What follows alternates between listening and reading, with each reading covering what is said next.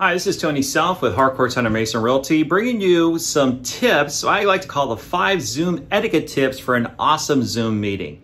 So I've been to hundreds of Zoom meetings and you start to learn little things that you should or should not do. Now, a lot of people in the corporate world that have used Zoom, they've picked up on this and they will tend to help others understand what they should or should not do. But for those who have never used Zoom before, um, this will help you kind of get a great experience with those around you and also not be that, that person who is uh, being a bit annoying to others. So now tip number one is that uh, Zoom has two different formats. One is what we call a group format, and that group format is the one that a lot of people are using right now. And that group format allows you to talk, mute yourself, unmute yourself, that kind of thing. And another format, it's a webinar format from Zoom, usually used for presenters. Now, the way you can tell a difference is that the Zoom format will have a raise hand function. So that typically is used where you mute everybody, you really can't talk.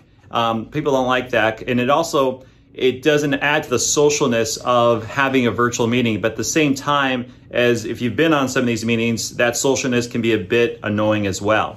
Now, tip number two is to pre-install Zoom. Now, Zoom works on multiple devices. It'll work on your iPhone, your Android, your laptop, Mac, Window, you name it. Uh, what I recommend, just like with anything else that's, else that's new in technology, is to actually install it first. You can set up an account if you want to. Now, you don't need to have a Zoom account to participate, but it doesn't cost anything. And why not? That way you can get your name on there. And remember, your name will show, so don't put anything that's um, a bit questionable, especially if you're going to use it for business. So that's uh, that's tip number two. Now, tip number three is the biggest etiquette tip for everything. If you, you get anything else from this video, this is the one thing that I really, really would rec recommend you focus on. Know how to mute yourself. It is amazing. Um, I've seen people fumble. They don't know how to mute. Now, here's the mute button for Zoom just over here down below.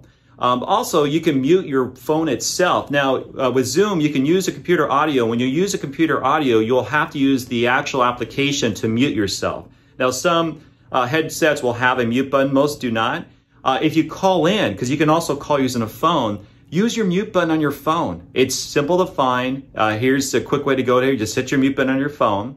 Um, also, if some hosts who are know what they're doing, they will mute you, and then you will have to know how to unmute yourself as well. So that's the one too for the biggest tip at all. Biggest uh, tip four is use your video. The whole thing about Zoom is to actually see one another. A lot of people can are a little kind of weird about video, that type of thing. But you know, use your video and kind of show yourself. Um, position yourself where you're, you know, in front of light, so the light actually shows you a bit.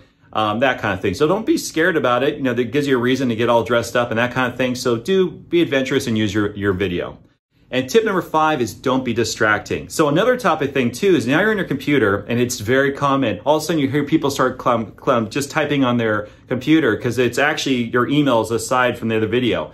I can't tell you how many times that's happened. Or a dog starts barking because you're at your home. Again, you can't control the noise and it's not a business environment. Or you're in business and all of a sudden the phone starts ringing. So knowing again, going back to tip number three, how to mute yourself will really help a great meeting for all the participants. Because what happens is when you're in this environment, you will start to pop up. And if someone's making a conversation or trying to make a point, it interrupts them. And everybody else is now seeing you pop up all the time on the screen. So really the biggest, biggest tip is mute yourself. Uh, don't be distracting. Uh, if you're going to start typing that type of thing, you can. Just make sure you mute yourself because all of our devices have great uh, microphones and they will pick up everything kind of like going back to the uh, whole uh, Amazon thing too. They'll pick up everything. So this is Tony Self with Harcourt Hunter Mason Realty, hoping that these Zoom tips will help you have a great environment to actually reach out to others. And I encourage you, use this platform to go out and talk to your clients, talk to your family, friends, have a social hour.